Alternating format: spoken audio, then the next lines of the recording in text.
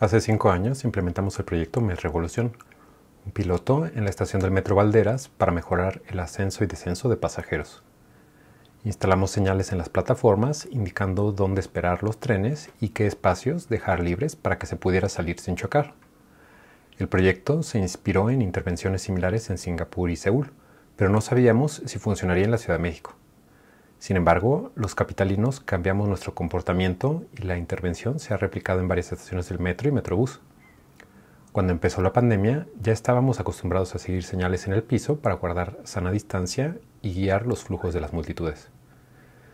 Metrevolución fue parte del proyecto doctoral de Gustavo Carreón, el cual asesoré junto con Luis Pineda. También participó Jorge Zapotecatl. Tania Pérez realizó el diseño y entusiastas voluntarios nos ayudaron con la instalación una madrugada. Tuvimos apoyos del Metro, CONACIT y la UNAM, aunque a veces competían para ver quién tenía la peor burocracia. De hecho, fue un empate técnico. En el metro no podemos cambiar a los pasajeros. De manera similar, hay muchos sistemas donde no podemos cambiar a sus componentes. Sin embargo, lo que podemos es cambiar las interacciones entre ellos para mejorar el sistema. No vamos a cambiar a los políticos, pero podríamos cambiar sus interacciones para reducir la corrupción. No vamos a cambiar a los empresarios, pero podríamos cambiar sus interacciones para mejorar la economía. No vamos a cambiar a los maestros, pero podríamos cambiar sus interacciones para mejorar la educación. No vamos a cambiar a nuestros vecinos. Bueno, ustedes entienden. Una manera general de regular interacciones es con mediadores. Un ejemplo de mediador son los reglamentos de tránsito, cuando los conductores los conocen. El tráfico fluye mejor si acordamos de qué lado de la calle circular, cómo responder a las señales, quiénes tienen la prioridad, etc. De otra manera, tendríamos que estar resolviendo muchas más interacciones entre vehículos. Si pasamos por la derecha o por la izquierda o quién pasa primero. El 1 y 1 es un mediador que, hace, que acelera los flujos al reducir la fricción entre las interacciones. En el metro, las señales que instalamos también son mediadores. Nuestra idea era que regularan las interacciones entre los pasajeros que salen y los que entran para que no chocaran.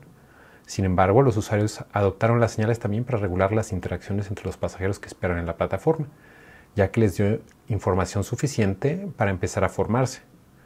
Los pasajeros que van entrando a la estación no necesitan ver las señalizaciones, simplemente se forman al final de las filas que llegan a salir de los andenes.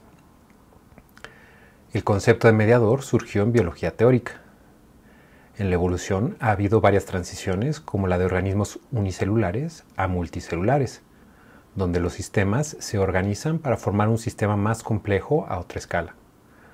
Para lograr esta organización, los mediadores son necesarios, ya que ayudan a resolver los conflictos entre sistemas y entre escalas. La organización de individuos en sociedades es un caso particular.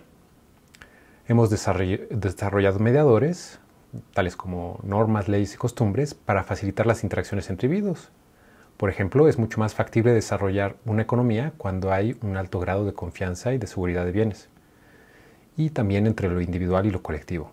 Por ejemplo, tenemos mediadores que intentan inhibir que los individuos se beneficien mientras dañan a la sociedad.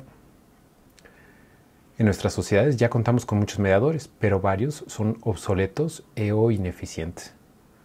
Por ejemplo, los topes logran reducir la velocidad de algunos vehículos, pero a costa de mayor congestionamiento y contaminación. Hay otros mediadores que logran reducir la velocidad sin estas desventajas, como las cámaras. Muchos de los problemas nacionales se dan por falta de mediadores efectivos, crimen, corrupción, pobreza, etc. No los vamos a resolver cambiando de políticos o partidos en el poder.